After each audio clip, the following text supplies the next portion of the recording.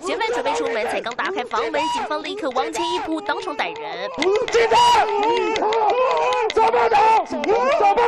满脸惊恐，不断挥手装可怜，但他就是求职诈骗案的诚信主嫌，教唆集团成员凶狠囚禁凌虐被害人，最终狼狈落网。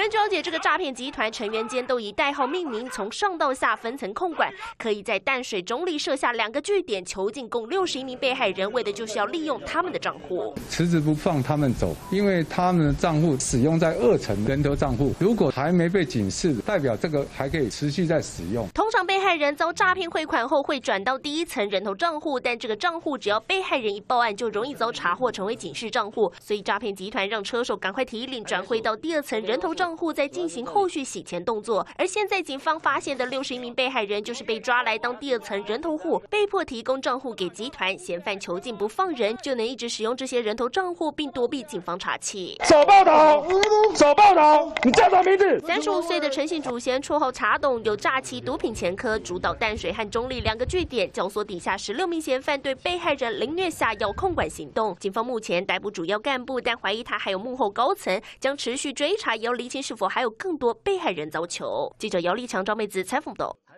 我是哈远怡，我用说故事写自己的人生故事，有争议的拿证据说，被掩盖的挖出来说，非主流观点我有勇气说，用心说好两千三百万人的故事。我是哈远怡，请锁定中视 YouTube 频道，记得帮我们按赞、订阅、分享，开启小铃铛哦。